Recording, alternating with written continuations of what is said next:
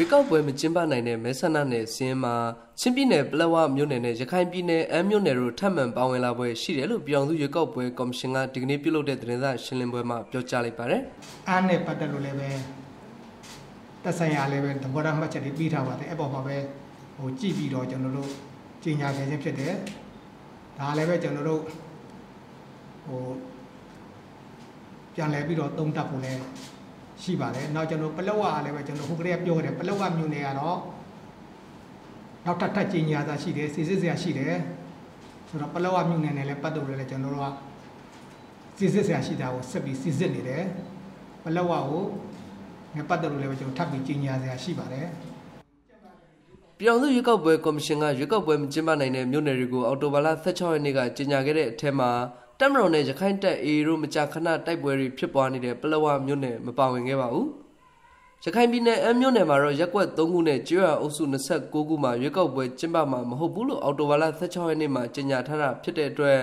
ကော်မရှင်ကအခုပြန်လဲသုံးသပ်နေတာဟာအမ်းမြို့နယ်တစ်ခုလုံးအတွက်ဟုတ်မဟုတ်ကိုတော့ရှင်းရှင်းလင်းလင်းမသိရသေးပါဘူးအခုလိုရွေးကောက်ပွဲမကျင်းပနိုင်တဲ့မဲဆန္ဒနယ်တွေကိုတတ်မှတ်တာဟာကော်မရှင်ရဲ့ဆုံးဖြတ်ချက်တစ်ခုတည်းမဟုတ်ဘဲပြောင်သူအစိုးရအဖွဲ့ရုံးဝန်ကြီးဌာန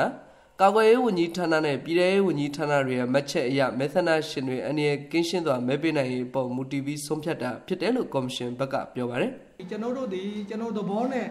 ဆုံးဖြတ်တာမရှိပါမရှိပါဘူးကျွန်တော်တို့မှာမှတ်တမ်းတွေဟိုရှိပါတယ်အဲ့တော့သဘောထားမှတ်ချက်တွေကျွန်တော်တို့တောင်းတယ်တက်ဆိုင်ရာဌာနရဲ့သဘောထားမှတ်ချက်တွေတောင်းပြီးတော့မှအဲ့ဒီသဘောထားမှတ်ချက်တွေကိုစုပေါင်းပြီးတော့ကျွန်တော်ကြည့်ပြီးတော့မှခုနပြောတဲ့ကျွန်တော်တို့ဒီ မဲလာပေးတဲ့ခါမှာရုပ်ကောကျင့်ပတဲ့ခါမှာအန္တရာယ်ရရှိသလားအန္တရာယ်ကြောက်အောင်နိုင်သလားဘေးကင်းလုံခြုံစွာရှိရလားဒါတွေပေါ်ပေါ်ကြည့်ပြီးတော့ပဲကျွန်တော်တို့ဒီဆုံးဖြတ်တာဖြစ်ပါတယ်အဲ့ဒါလည်းပဲကျွန်တော်တို့အယူဆနဲ့ကျွန်တော်တို့ဆုံးဖြတ်တာမဟုတ်ဘူးတက်ဆိုင်ရာသဘောထားမှတ်ချက်တွေအရာကျွန်တော်တို့ဆုံးဖြတ်တယ်ဒီဆုံးဖြတ်ချက်တဲ့ပုံမှာတချို့နေရာလေးတွေပြန်လဲကျွန်တော်တို့ဟိုတင်ပြမှုရှိလာရင်လည်းကျွန်တော်စစ်စစ်ပြီးတော့ဒီအခြေအနေတွေဟို စိုးရင်ဘွဲရဆိုအန်ရရှိနေတဲ့ကိစ္စမှာမပေါ်ပေါက်ရင်ကျွန်တော်ကျင့်ပသွားဖို့ပဲဟိုဖြစ်ပါတယ်ကျွန်တော်တို့အခုကတော့ဟိုဘယ်နေရာက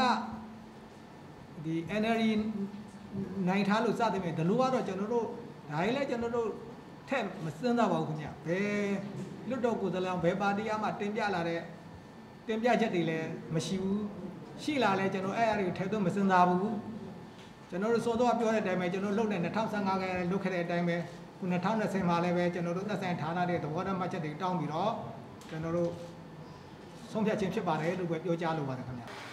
ဒါပေမဲ့ဘယ်ဝန်ကြီးဌာနကဘယ်လိုမှတ်ချက်ပေးတယ်ဆိုတာကိုတော့အသေးစိတ်ပြောဖို့မရှိဘူးလို့ဆိုပါတယ်။ပြောင်စုရွေးကောက်ပွဲကော်မရှင်နေနဲ့ရခိုင်ပြည်နယ်ကမြို့နယ်9ခုရှမ်းပြည်နယ်ကမြို့နယ်6ခုစုစုပေါင်း15မြို့နယ်မှာရွေးကောက်ပွဲလုံးဝမကျင်းပနိုင်ပဲ အခြားတိုင်းနယ်ပြည်နယ်6ခုမှာတော့ကျွော်အုပ်စုတချို့မှာရွေးကောက်ပွဲကျင်းပနိုင်မှာမဟုတ်ဘူးလို့အော်တိုဘာလ16ရက်နေ့ကတည်းကကြေညာထားတာပါ။လာမယ့်ရွေးကောက်ပွဲမှာတနိုင်ငံလုံးအတိုင်းအတာနဲ့မူလကကိုယ်စားလှယ်လောင်း6969ဦးဝင်ရောက်ရှင်ပြိုင်မှာဖြစ်ပေမဲ့